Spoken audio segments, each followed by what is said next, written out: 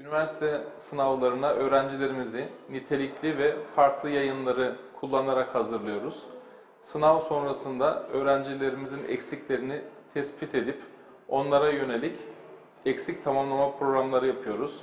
Hepsine çözemedikleri soruları özel ders formatında birlikte çözmeye çalışıyoruz. Onların sorularını, eksiklerini gidermeye çalışıyoruz. Bütün sınıflara yönelik değerlendirme sınavlarımız var. 9, 10. ve 11. sınıflarda müfredatı izleme sınavları yapıyoruz. Tabii ki 12. sınıflarda daha çok YKS'ye yönelik TYT, AYT e, deneme sınavları yapılıyor. Bu sınavlarla öğrenci kademeli olarak üniversite sınavlarına hazırlık yapmış oluyor.